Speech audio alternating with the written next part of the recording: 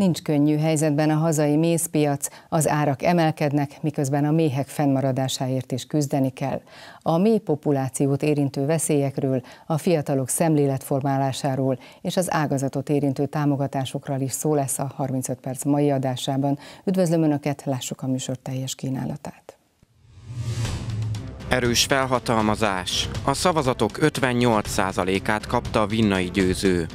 Orvosok a határon, megfeszített munkára van továbbra is szükség. Drágul a méz, kihívásokkal küzd a méhészet. Fölényes győzelmet aratott a Fidesz-KDNP Szabolcs-Szatmár-Bereg megyében. Az elmúlt négy év képviselői az április harmadikai választáson is bizalmat kaptak a szavazóktól. A megye kettes számú választókörzetében a voksok több mint 58%-át begyűjtő Vinnai győzővel értékeljük az eredményt, és tekintünk előre a következő évek feladataira. Jó estét kívánok, köszöntöm, és mindenek előtt szívből gratulálok. Jó estét kívánok, köszöntöm a televízió nézőket. Hát igen, az első szó a köszöneté. A köszöneté a választópolgárok irányába, mert nagyon sokan elmentek, ebben a választókerületben is magas volt a részvétel. Talán hasonló volt, mint 2018-ban. Sokan fontosnak tartották, hogy elmenjenek és szavazzanak, nem csak a saját életükről, hanem a, a háborúról, és talán az országról is, az ország jövőjéről is döntöttek. Úgyhogy mindenképpen szeretném megköszönni, és ezt az erős felhatalmazást. Emellett meg kell köszönnöm a segítőimnek, az aktivistáknak, a családtagoknak, hogy végig segítették a munkát, végig egy értékrend mentén ott álltak mögöttem, és én is hittem abban, hogy amit teszünk, az jó nem csak az egyes egyénnek, hanem Szabolcs-Szatmár-Bereg megye lakosságának, a választókerület lakosságának és végső soron Magyarországnak. Minek tudható be ez az eredmény? Hát most már elemezgettük az eredményeket, és egy picit engem is meglepett az a növekedés, hiszen 2018-ban 48%-ot értem el, most pedig Egyesült Ellenzék egységben, a Magyarországért talán így nevezték magukat, indult ellenem, és ettől sokat vártak az ellenzékiek, hiszen megszűnt az a centrális erőtér, amikor több párt jön a Fidesz-KDNP jelöltjével szembe, hogy Jobbik, MSZP, DK, és ettől az összefogástól, tegyük azért időzőjelbe ezt az összefogást, mert azért láttuk, hogy nem mindig működött ez a másik oldalon olajozottan, sokat reméltek, én pedig abban hittem, hogy az emberek között kell lenni. Folyamatosan ott kell lenni, minden településen, nagyon sokat ott voltam, de nem csak a kampányba, hanem a négy év folyamán. És nem csak átadó ünnepségeken, hanem beszélgetéseken, vagy éppen nemzeti ünnepeken, amikor volt lehetőség ö, ö, megkérdezni az embereket arról, hogy mi a fontos nekik, mi az, ami, amivel ők egyetértenek, vagy mi az, amit éppen kritizálnak, és ez az állandó jelenlét, az, hogy, hogy ott vagyunk közöttük, vagy legalábbis én úgy érték, érzékelem, hogy, hogy meg lehet engem kérdezni, el lehet engem érni, el lehet jönni fogadóórára, és el lehet mondani a személyes ügyeket is, ez szerintem ö, sokat nyomott alatba. Mellette persze az országos kampány, az országos hangulat is, de az, hogy ilyen nagy volt a növekedés, hogy több mint 10 százalék, 10,4 százalék, majdnem 10,5, ez szerintem ennek köszönhető. Ez egy viszonylag nagy választókerület. Egyenletesen Igen. sikerült ezt a teljesítményt hozni, vagy vannak Ez a választókerület, ez Nyíregyháza körülbelül egy negyedét, 30 százalékát foglalja magába, Nyíregyháza nyugati része, a nyírszőlősi rész, a hímesi rész, a Városmajor az északi körül, a repülőtér környéke, a bokortanyák ide tartoznak, Mandabokor, Felsősima, Rozsrét, Bugyka, Vajdabokor, hogy csak a nagyobbakat említsem, és ide tartozik még egy nagyobb területe, település része Nyíregyházának a Kertváros. A Kertváros, amely ahol több ezeren laknak.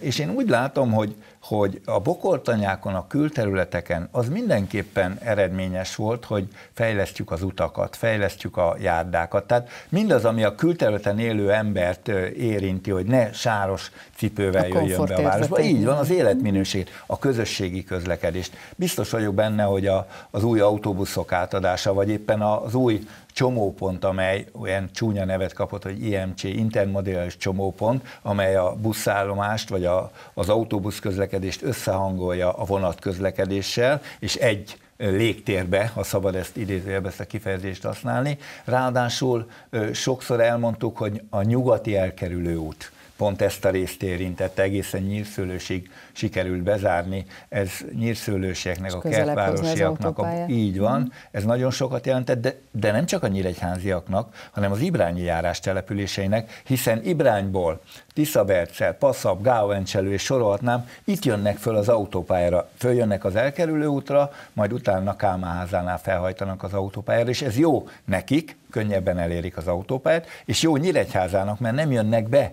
sem a teher, sem a személyforgalom nem jön be a belvárosba, vagy, vagy a nagykörútra, és nem terheli a város forgalmát, nem szennyezi a környezetet az a sok autó. Folytatódik-e a következő négy évben az útfejlesztés? Igen, igen, ennek három területét látom. Az egyik az új uniós forrásokból, vannak belterületi útak, amelyek, ugye ketté kell választani. Van az úgynevezett önkormányzati kezelésű belterületi utak, amelyekre önkormányzatok pályázhatnak. Ez uniós forrásból is lehetséges, és Magyar Falu programból. A Magyar Falu programban 15 településem érintett a 20 településből, mert van öt olyan kisváros, Tiszavasvári, Tiszalök, Ibrány, Rakamaz és Nyírtelek, amely, bocsánat, Rakamaz alatta van az öt, tehát négy olyan kisváros, amely, amely 5000 fő feletti, illetve hát Nyíregyháza nem tud értelemszerűen ebben a programban részt venni, de az uniós forrásokból van lehetőség belterületi utak fejlesztésére.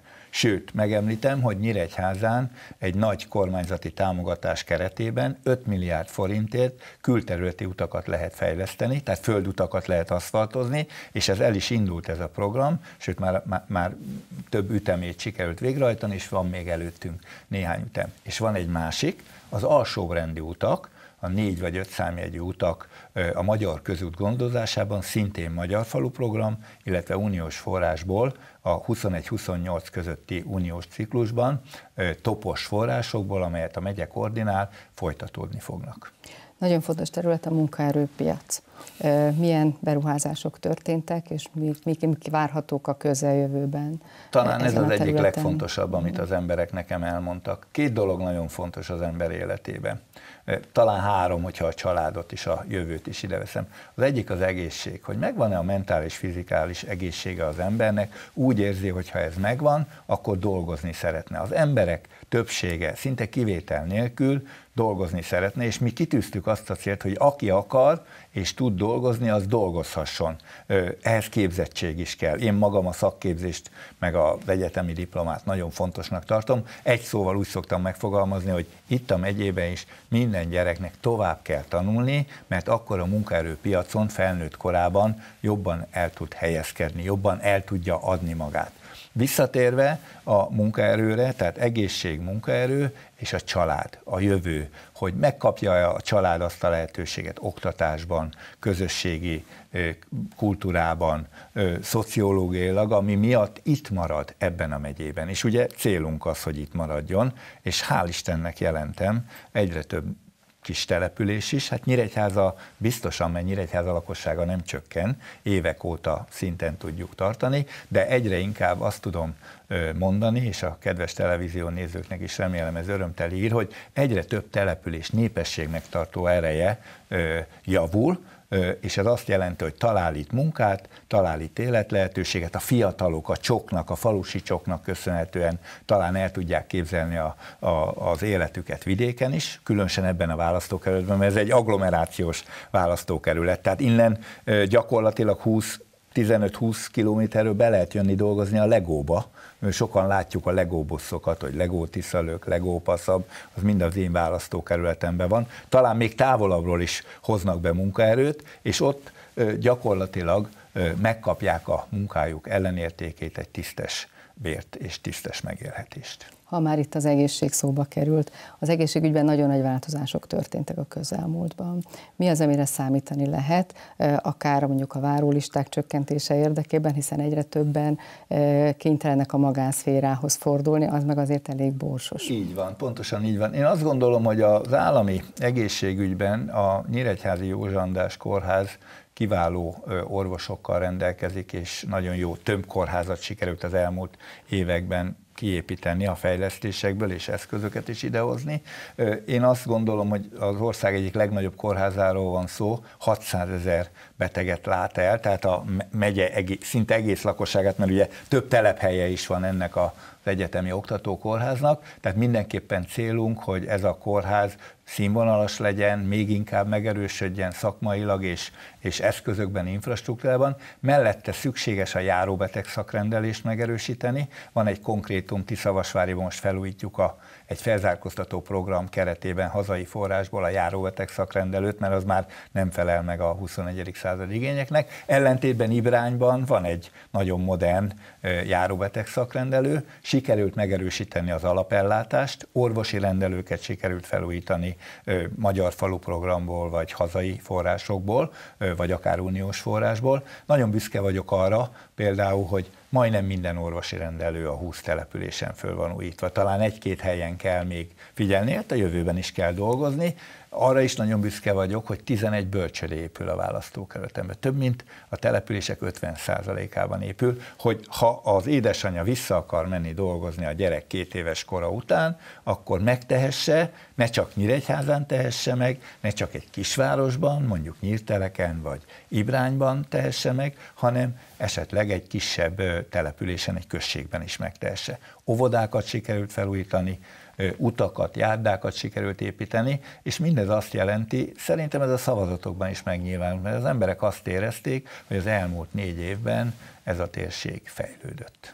Az oktatást még nem érintettük, és az egyik legfontosabb kérdés, nagyon sok iskolát sikerült felújítani.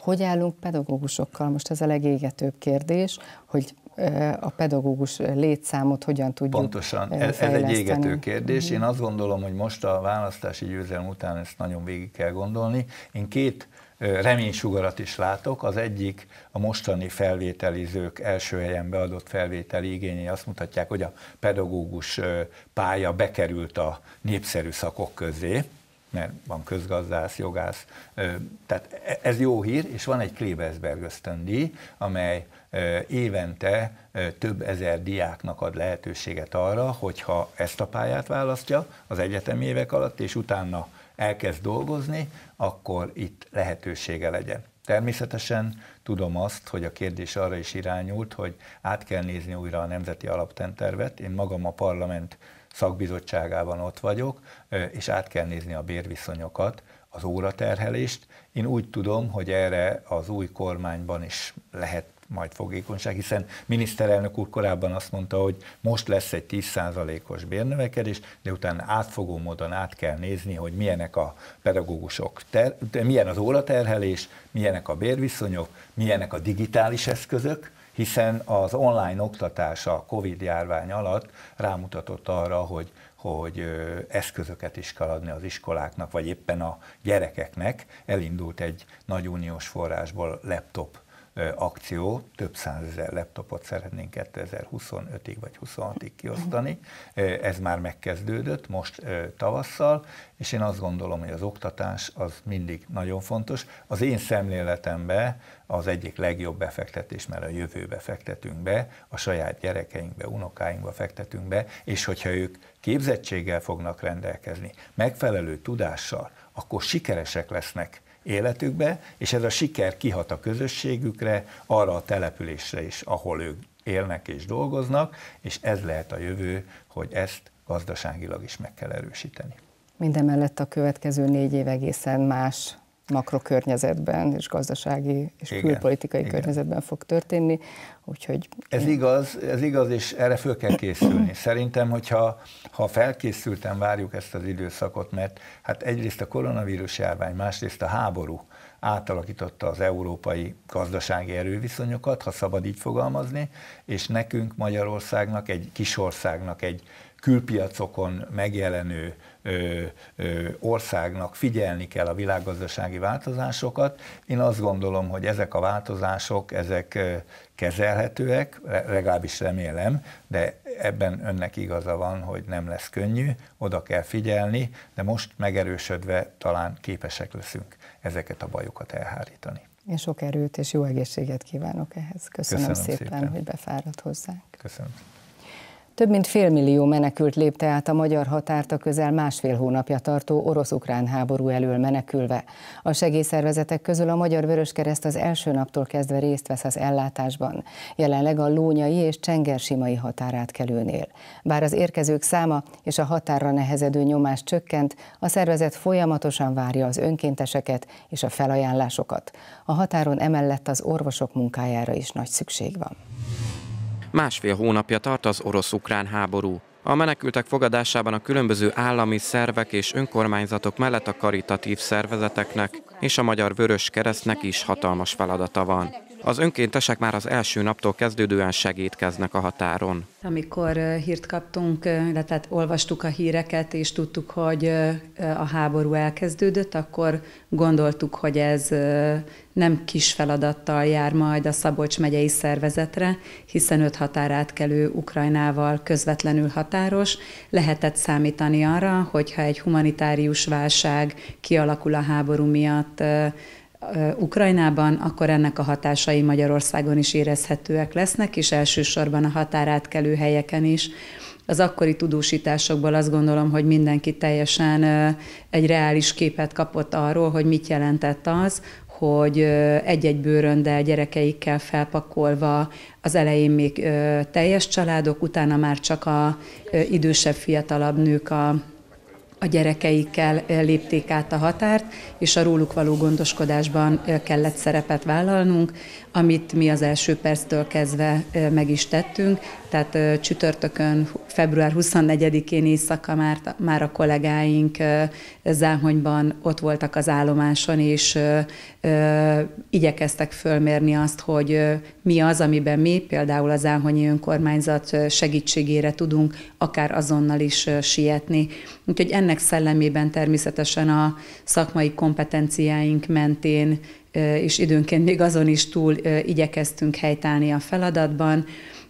Eleinte minden határátkelő helyen kisebb-nagyobb szerepünk volt abban, hogy a menekültek ellátása minél gördülékenyebben alakuljon ki, és akkor, amikor a Hídkárpátaljáért összefogás elindult, illetve fölállt az a, az a szerkezeti rend, ami, ami szerint most is működünk, tehát hogy egy-egy karitatív szervezet látja el a segítségpontokat a határ mentén, így a Vörös Kereszt a lónyai határátkelőnek, illetve a lónyai segítségpontnak a működtetéséért felelős együttműködve a helyi önkormányzattal, illetve a Védelmi Bizottsággal. Gurály Edina elmondta, eleinte nagy volt a gyalogos forgalom, de mára ez a lónyai átkelőnője megszűnőben van, inkább autóval érkeznek, noha közülük is sokan bejönnek a segítségpontokra, ahol ételt, italt, illetve úti csomagokat kapnak. Az önkéntesek jelentkezését továbbra is várja a Vörös Kereszt. Minden nap munkatársakkal és önkéntesekkel vagyunk jelen, ezzel tehermentesítve a település erő, humán erőforrását.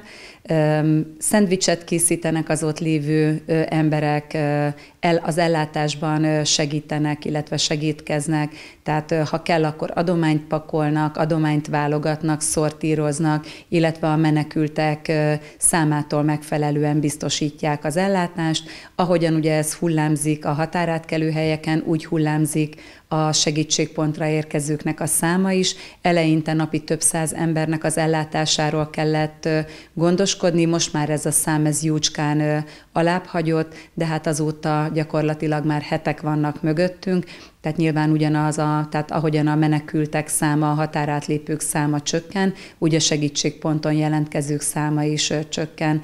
Eleinte nagyon nagy volt a gyalogos forgalom, ez már, ez már itt megszűnőben van, inkább autóval érkeznek, de azok, akik autóval is átlépik a határt, nagyon sokan bejönnek ezekre a pontokra, hiszen itt egy tehát kávét, teát kapnak, melegebb édet kapnak, hogyha olyan időzónában érkeznek, akkor, akkor szendvicset készítünk számukra, frissítőket adunk nekik, illetve úti csomaggal látjuk el őket. Én azt szoktam kérni az önkéntesektől, hogy ha például velem veszik föl az első, első körben a kapcsolatot, hogy olyan önkéntes munkára készüljenek, ami egy 12 órás szolgálatot jelent. Tehát mi a kezdetektől fogva ezt úgy alakítottuk ki, hiszen nagyon sokan nagyon messziről jönnek, és az utazás az ebben az esetben egy, egy picit megnehezíti ennek a szolgálatnak a teljesítését, hogyha akárha Nyíregyházáról megyünk, hogy mi március 15-e óta a Csengersimai határátkelőn is látunk el feladatot, akár az egyik irányba, tehát akár Csengersima, akár Lónya irányába megyünk, azért ez egy olyan jó másfél órás úttal, autóúttal kell számolni, tehát reggel 8-tól este 8-ig, illetve este 8-tól reggel 8-ig látnak el szolgálatot a munkatársak is, az önkéntesek. Föl kell készülniük arra is, lélekben arra készüljenek, hogy nagyon sokan már nagyon messziről érkeznek, elcsigázottak, fáradtak, nehezen fogadnak el sokszor segítséget a határátkelő helyen, viszont hogyha a kezükben nyomjuk a szendvicset, az ásványvizet, a, a csokoládét, akkor azt végső soron szívesen elfogy, el, elfogadják és el is fogyasztják, hiszen jól esik nekik, de leginkább lélekben erre kell, erre kell készülni, hogy nagyon fáradt és elcsigázott emberek lépik át a határt a legtöbb esetben. Bár az első héten tapasztalható roham már lecsendesedett, de ezekben a napokban is érkeznek menekültek Ukrajnából, mind az öt Szabolcs-Szatmár-Bereg megyei határátkelőn keresztül Magyarországra. Ezeken a helyeken az orvosokra is nagy szükség van, hiszen sok betegnek azonnali egészségügyi ellátásra van szüksége. Kis Csaba Záhonyban és igény esetén Berkeszen végez önkéntes munkát. Nagyrészt gyakorlatilag ugyanazt csináljuk, mint amit én egyébként is csinálok a háziorvosi rendelőmbe. Ugye hát nagyon sok idős beteg ember érkezik, akiknek esetleg nincs is gyógyszerük, nincsenek meg a papírjaik. Ő, nekik ugye a krónikus betegségüknek a fellángolása is előfordul, amiatt, mert a, tehát amin keresztül mennek a hosszú út, a gyógyszerek hiánya, a, a stressz miatt, tehát ezeket a, ezeket a krónikus betegségeket, meg ezeknek a fellángolását kell kezelni. Nagyon sokan jönnek ugye különféle légúti panaszokkal, szoktunk azért Covid eseteket is találni, de hál' Istennek azért nem, nem tömegesen, de az ilyen egyszerű vírusos, bakteriális felső légúti fertőzések is gyakran előfordulnak, és sokan jönnek kisgyerekekkel, közöttük is nagyon gyakori a, a, az ilyesmi. Tehát igazándiból ahhoz hasonló a, a dolognak a nagy része, mint ami egyébként is történik az alapellátásban. A menekültek nem csak a határátkelés után számíthatnak orvosi segítségre, hanem amennyiben szükséges, később is megkapják az ellátást. Mindenki, aki ö, megérkezik, őket a határon regisztrálják, és ezzel a menekültes státusszal gyakorlatilag ö, ugyanúgy jogosultak ö, átmenetileg ö, a Magyar, Magyarországon egészségügyi ellátása, tehát ö, ezekkel a dokumentumokkal gyakorlatilag bemehetnek bármelyik házi orvosi rendelőbe, vagy ö, egy kórháznak a sürgőségi osztályára, hogy olyan jellegű panaszuk van, és akkor ott megfelelő ellátásban részesülnek. Mi igazándiból azt csináljuk, hogy akik ott hozzánk fordulnak, hál' Istennek ugye azért elég elég széleskörű gyógyszerpalettával rendelkezünk már, gyakorlatilag attól függően, hogy, hogy mennyi időre, hová mennek, milyen betegségük van, el szoktuk azért, azért jó pár napra vagy egy-két hétre is látni a, a gyógyszereikkel, és akkor úgy mennek tovább, és aztán, aztán nyilvánvalóan, hogyha, hogyha hosszabb távon ott kell, hogy maradjanak, akkor ott fel kell, hogy keressenek valamilyen ellátó intézményt. Mint Kis Csaba elmondta, a magyar önkéntes orvosok mellett az Egyesült Államokból és Németországból érkezett kollégával is találkozott a menekültek ellátása során. Folyamatosnak mondható a drágulás a mézpiacon, az ágazatot az infláció, a szakemberhiány és a mély populáció csökkenése is veszélyezteti. A tavalyi év termése azonban térségünkben kedvezően alakult, ebben bíznak idén is a gazdák. A mély családok fejlesztésében pedig a tavasz kiemelt fontosságú időszak. Vendégünk Hok József, a Nyíregyházi Méhészek Egyesületének elnöke. Jó estét kívánok, köszönöm. Jó estét Köszöntő. Milyen évet zártak tavaly? Nehezen indult a tavalyi évünk is, tavaly azért nagyobb pusztulás volt, vagy hát akkor a 2021-es év azért több pusztulásról szólt, mint még a 2022-ben eddig tudunk beszélni. Nem volt ekkora a száj, végül is a családok jobban indultak. Viszont ott egy nem is tudjuk megmondani, hogy igazából minek köszönhetően, de a korábbi években azért május eleje, május 10-e körül lévő akázvirágzás egészen kitolódott május végére, 26 vagy valahol június elejére. Mindenki fél tőle, hogy egy fagyos sarjú akázvirágzásunk van, de amellett itt Szabolcs megyébe mondhatjuk, hogy legalább a korábbi éveknek megfelelően, de inkább a közepestől egy jobb akáztermésünk volt. Igaz, volt ez Szabolcs megyére, Hajdú, Bihar, vagy akkor a Hajdúnak egy részére és Borsodra. Az ország többi részén igazából minimális volt az agásztermés, de itt egy jó minőségű akác évünk volt. Sikerült piacra tenni a termékeket? Sajnos, mivel hogy azért az országosan szinten sokkal kevesebb volt az akác, az árak feljebb mentek. Ami részben érthető is, de a nemzetközi piac viszont nem alakult végül is. A hazánkban megtermelt mézek 80%-a nemzetközi piacon kerül ki. Az áremelkedés hatására viszont a nemzetközi piacon is el, megállt valamilyen szinten a mézkereskedés, és nehezen végül is értékesítésre kerültek a mézek, vagy akkor folyamatban vannak még igazából most is, valamennyivel magasabb áron. Most itt mindenki úgy gondolja, hogy milyen nagy áremelkedésen esett át a méz, de... Hát legalábbis a piacon ezt látjuk. Költségeinket tekintve azért igazából ezt biztosan nem mondhatjuk azt. Folyamatban vannak az akármézek értékesítése, azért itt a termelők valamilyen szinten tartották is a mézőket, mert mert az, hogy korábbi években nem volt folyamatosan, azt hallottuk, hogy nincs akázméz, nincs akázméz. Már most azért valami árbevételre is számítottak a mézek, és ezért próbálták itt akkor a magasabb ár felé kivárni és tartani a mézüket. Van-e szakemberhiány ezen a területen? Én személyem szerint is tíz éve foglalkozok mérészetoktatással különböző intézményekbe. Nagyon sokan nagyságrendileg a tíz év alatt egy a 500 embernek az oktatásába, vizsgáztatásába vettünk részt. De a méhészetet, az, hogy most elvízünk egy mindegy hány órás képzést, nem lehet ennyiből megtanulni. Sajnos minden nap változik a mély, mély családi élete is. Maga az időjárás, maga a klímaváltozás, ez folyamatosan befolyásolja újonnan előkerülő betegségek, másabb mélegelő, akkor így mondanám kevesebb nektár, kevesebb virágpor, hogy a méhészkedés az egy folyamatos tanulás. Az, hogy mindig és meg... egyfajta életforma is. És egy életforma. Az, hogy mindig meg kell próbálnunk mögé nézni, de folyamat, hogy miért történhetett a dolog. Folyamatosan tanulnunk kell. Az, hogy van-e szakemberhiány, ezt nem mondhatjuk így ki nagyon sok Szabolcs megyét tekintve 2200 körüli regisztrált méhész van. Azért nem akkora megye vagyunk, mély családszámban is mondhatjuk, hogy az ország egyik legmagasabb mély családszámával rendelkezik a megye, de nem szakképzettség hiány van, hanem egy folyamatos fejl... talán azt mondhatnánk, hogy egy folyamatos fejlődési hiány van. Nem ragadtunk már le ott, ami, ahol tartottunk ezelőtt 10 éve, 20 éve, 30 éve, hanem folyamatosan követnünk kell a megújuló lehetőségeket. Milyen az idei tavasz? Hogy, te, hogy tereltek az idei állomány, állományok? Téli veszteségről minimálisról beszélhetünk. Egy-egy méhészet, vagy akkor inkább azt mondhatjuk, hogy vannak méhészetek, ahol teljes pusztulás, de ami korábbi években volt jellemző, hogy 20-30-40 százalékos pusztulás mindenkinél, az most nem jelenkezett. Mély családoknak tavasszal a fejlődéséhez virágpor és nektárhordásra van szüksége. Sajnos a nagy aszály és egyéb hatására most kezdenek a gyomnövényeink itt. Az á... Nekünk ilyenkor végül is, aki nem vándorol fűzre, akkor a árvacsalány, csukhúr, pitypang, vagy gyermekláncfű, ki hogy nevezi, ezeknek a virágzására lenne szüksége. A nagy aszály hatására és a hűvös idő hatására ezek igazából most kezdenek el virágozni. Akik vándorolnak a fűz alatt is azért viharos, szeles, esős idő volt, és nem igazából engedte itt a mi térségünkben a mély családoknak a mozgását. Ahhoz 12-15 fok hőmérséklet legalább kell, hát azért mi itt meleg órákba vagy napfényes órák számába a Dunántúli részhez nagyon el vagyunk maradva legalább két-három héttel. Fejlődgetnek a családok, de, de nem mondhatjuk, hogy a csúcson vannak. Számítanak a tavalyihoz hasonló viszonylag jó idényre?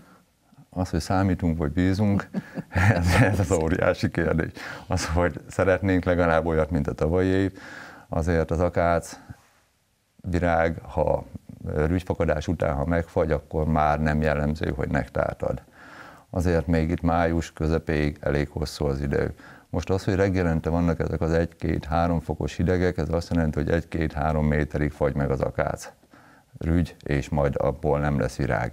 Igazából az akászfákat, ha nézzük, akkor azért itt 8-10 méteres fákról is beszélünk, eddig nem ért bennünket fagykár.